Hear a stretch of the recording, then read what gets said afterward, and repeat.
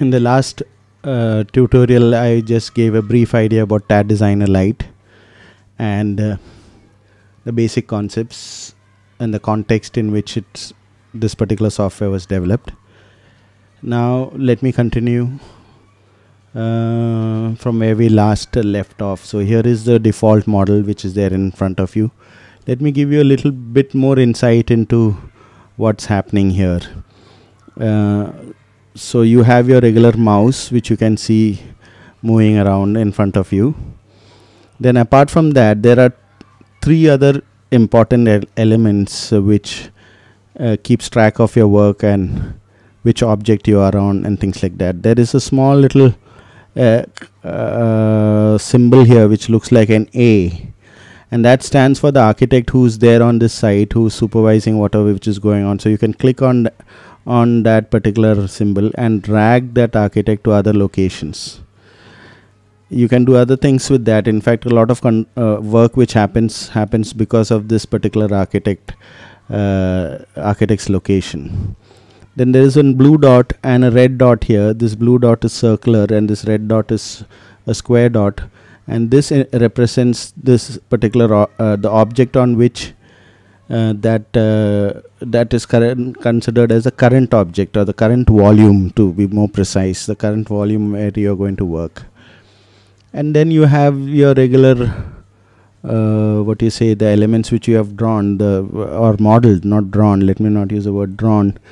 You are actually creating models. By default you are creating uh, some kind of uh, polygonal shape and this polygonal shape you can go here and give it a height and a level so it gets extruded in in the direction towards you. So that means this particular uh, square which you see here the outer square I if I right click on that line these two dots they are known as helpers. So the helpers shift to that uh, particular volume which I have now demarcated. Now that volume actually doesn't start off as a volume. It starts off actually as a planar uh, poly polygon or a polyline and uh, a closed one. You, you cannot open that polyline. So these are all the basic assumptions which is there in the software and the reason is that they are eventually going to be used to describe volumes so here is a poly polyline which is square in shape. In this particular case, it happens to be square. It can be any shape for for that matter. And now I can uh, I, I, have pressed the left mouse button and I can drag that uh, that particular polyline wherever I want to. The moment I leave my uh, mouse, the mouse, the left click of the mouse, you find that that architect who wherever he was sitting, he was sitting somewhere there he he automatically snaps to that point where that first helper is. So he me uh, the uh, the first helper uh, kind of decides that the architect has to go there. So let me do that once again. So if if i uh, left click drag i can drag that particular shape around.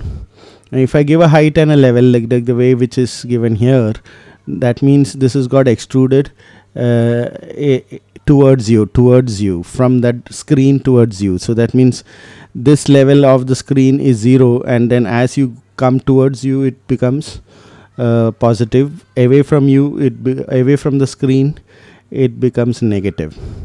So I've given a positive height which is 3.83 here which is in meters. So therefore this particular volume is a kind of a cube cuboid which is uh, uh, extruded to a, a height of 3.83 meters. So that's it. That's that's the that's the way uh, uh, this particular shape behaves. Now tad has got a very intelligent undo. Like if i click on this undo what it does is that it finds out what is the object you're sitting in and it un undoes the last action on that object. So it's a pretty intelligent object oriented undo.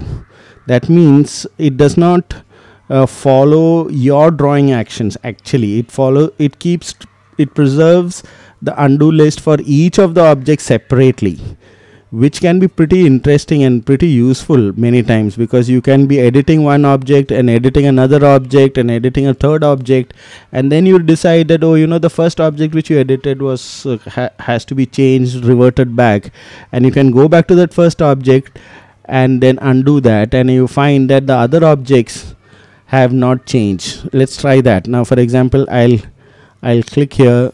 I've gone to another object here and I drag that out.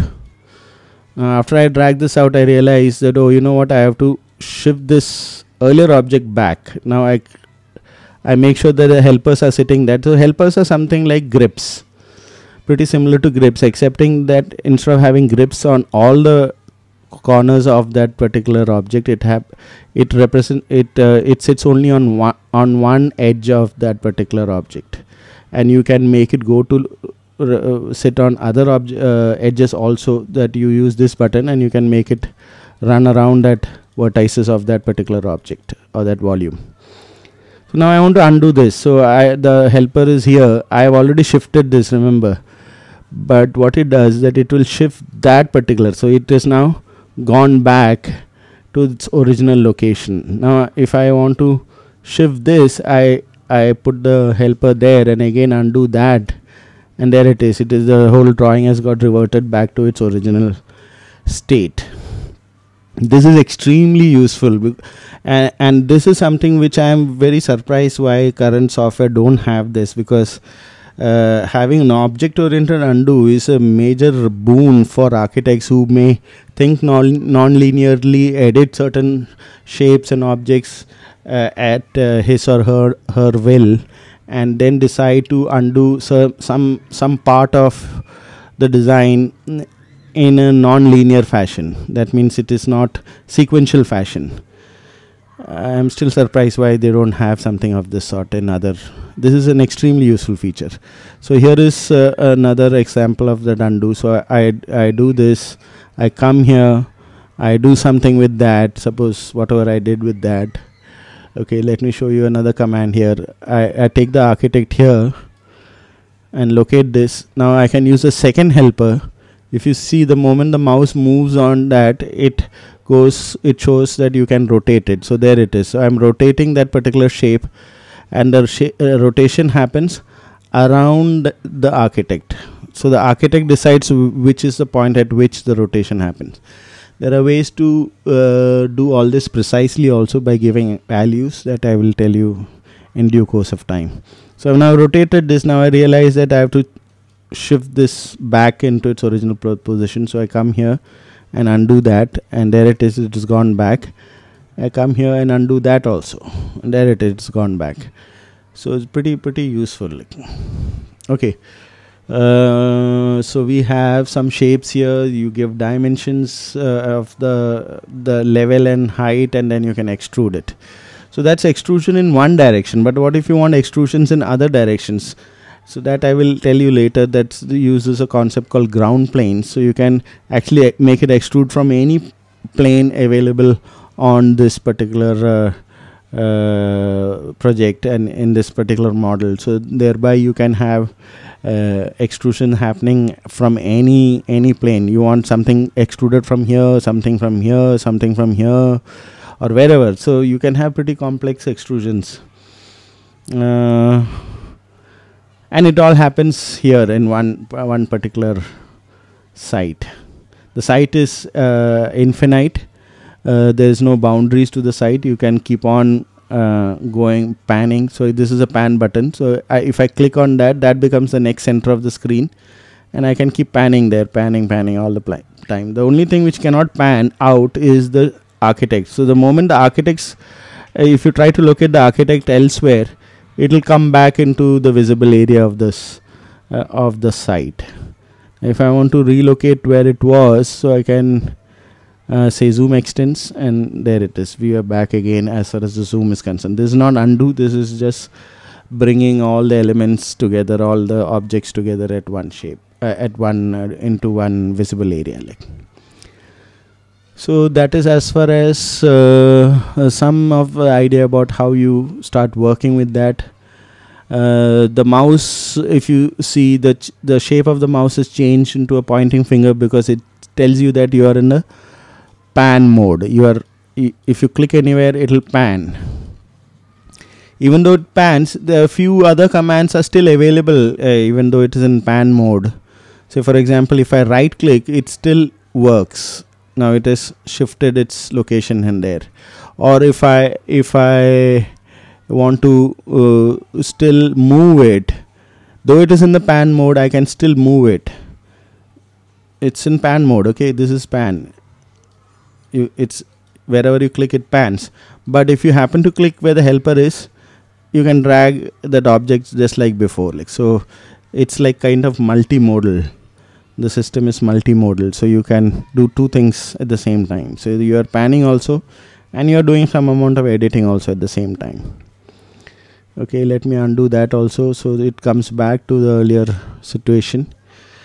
Uh, the number of undos are limited per object but since it is undo per object it is pretty infinite actually. Like i think in about 10 to 12 undos are available for each object which uh, my experience says is usually good enough. You don't normally need much more than that. So you have undo and redo of 10 editing action per object. Each of the object or shape or volume whatever you may call it uh, can be undone 10 to 12 times. Now whatever you create here you can't just arbitrarily create four lines and then later later on join it it always creates a closed shape. Usually it gives you a rectangle or a or a square depending on what you had initially specified. And you have to give it a name and that is a name here. So you have to give some name or the other. You can't say that i won't give it a name. No you'll have to give it some name. If you if you are too confused about what name to give just press the space bar write some gibberish leave it at that for the time being. Okay if you double click on the name it will pan to that particular object. So if i double double click on this there it is. It comes into visible. So this it's this also a pretty unique way of going around a very complex uh, model where you have lots and lots of objects and you do not know where it is. All you have to do is just go double click that and it will bring it to you to the center of the screen. So it's pretty fast pretty in, uh, intuitive once you get the hang of it. Okay okay let me undo this once again. I love this undo. Okay. So it's back into the way it was earlier. I say zoom extents. And it was in pristine shape. It was the way it was right in the beginning. Now what are these objects? This object is actually a term used in object oriented programming. An object can be an architectural object like say a plan or an elevation but i told you it starts its birth as as a 2d shape actually unless and until you give it a height and a level. Here i happen to give it a height and a level so this particular object is now a volume and that particular volume happens to be a space. It's it's written here is kind of atom. You don't want that particular kind uh, you have to you can choose what is the kind of space which is there. Is it an atom connector envelope? What are the things which is there in this We'll get to know these terms little later, nothing to worry about. Right now, just think that they are spaces. So here is one space and I gave it height and level. So therefore, this is a volume. It's not just a shape. And this is the name of that particular volume, which is called a simple room. Uh, you don't like the uh, uh, the name, so you press the space bar and then you say uh, living room or something like that and press enter. So there it is. So I've changed the name so you have to give a name. It's like giving birth to a person. You have to be that person has to be given a name. It's as simple as that. Nothing complex. Nothing that it uh, it uh, destroys anybody's creativity or anything just because you named it. Okay you still have not decided. So you press the space bar and say whatever. Let's call it a a a a a you don't like the name. You want to decide later? Fine do that. Okay your choice I'll revert back to living room. So what I do is that I arrange these objects into what is known as a class. Now this particular set of objects, these four objects happens to be in a class called first floor. which as per american terminology first floor is what they say when there are rooms uh, which is the first level of that particular building is usually in us i think it's called first floor in india it's not called first floor it's called ground floor so here uh, if you want to rename that uh, you don't use the space bar here. Here you just gently click once again and it will go into editing mode. So here it is. I'll say ground floor and press enter. Okay i think i use two g's there. So what i do is ground floor. Okay. So now uh, now what you have to do is to think about uh, the, what are the other things which is available in this particular thing. Okay? One minute. I'll have to do that in my next tutorial. My dog started crying. Thank you